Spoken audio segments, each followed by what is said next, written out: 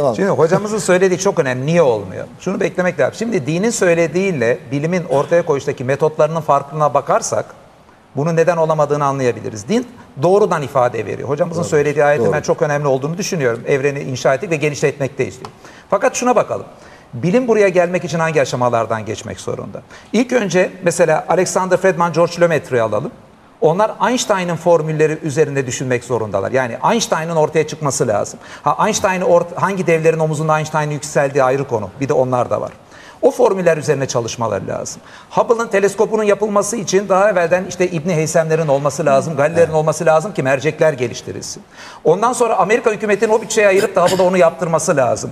Hubble'ın da boksörlükle ve avukatlığa veda ettikten sonra Doppler etkisi gibi diğer bazı araçları onu gözlemde ki o klasik bir Doppler etkisi değil aslında uzayın genişlemesi olduğu için ama yine de Doppler etkisiyle buluyor. Evet. Doppler etkisi gibi araçları kullanabilecek evvelden bir altyapının olması lazım.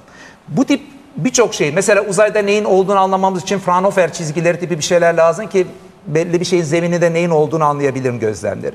Yine bu genişlemeye de gelirsek evrenin yani bu teleskobun bulunması ile ilgili teleskobun kullanılması, Einstein'ın formülleri birçok şey burada saymadığımız müthiş bir bilimsel birikim. Bilimsel bilgi bu tip birikimlerin omuzlarında yükselir. Çünkü bilimin doğası bu. Evvelki oradaki şeyleri kendisi için hareket yapar. Dini bilgi tanrısal olduğu için o doğrudan ifadeyi verir. O yüzden aslında hiçbir zaman için yani Kur'an'daki bir ayetin rehberlik yapıp da onun bulunması kolay kolay mümkün değil. O orada söylense de tarih içinde tefsircilere bakalım birçoğunu anlamadıkları için ya bunun hikmeti Aynen nedir diye bir kenara bırakmışlardır. Fakat bilim adım adım onların hepsini çıkmak zorunda. Ha bilimle dinin ben belli bir ilişkisi olduğunu düşünüyorum ama şunu da yakalamamız lazım. Bilimin kendine az bir metodu var. Adım adım o merdivenleri çıkmak zorunda. Ha adım adım bilim o merdivenlerini çıktıktan sonra aa bilim buraya geldi. Din bize bir şeyler söylüyordu. Hadi bakalım bunun ilişkisi neymiş diyebiliriz. Mesela din bize evrenin bir başlangıcı olduğunu söylüyor.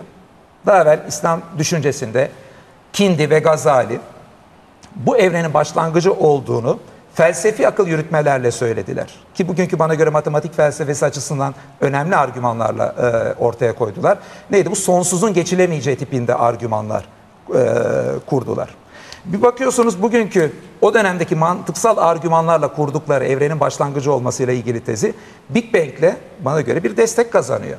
Artık evren ezeli mi dediği midir diye tartışmıyoruz.